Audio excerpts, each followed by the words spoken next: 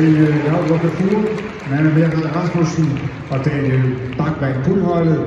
Hjertelig tillykke med MCH-prisen.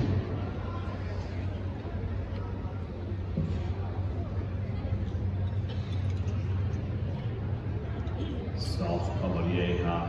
Og flot kørt ind i aften af Kusk Ole Christiansen. Nu skal vi ikke lige give Ole en øh, hånd på vej ud her. Det er flotte kuskmand. Og her er vi min elskede verdensmester og dressur.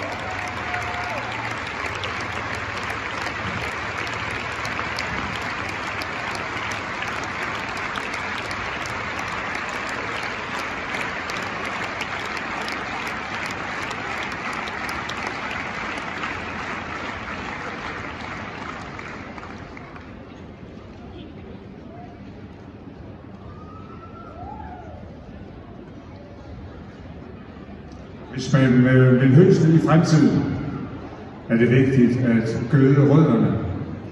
Sportslig succes i ridesport starter i det små, oftest med ponyerne. Derfor har guldholdet besluttet at donere prisen videre til støtteforeningen på ponydressur, som Rimer Christensen er primus motor for. Det er en smuk gestus, smukt og fremtidsorienteret. Hånd for det.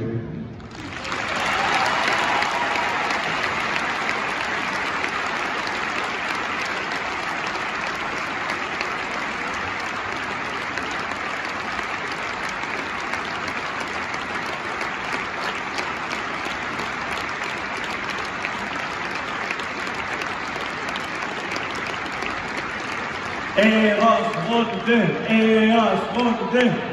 Er I med?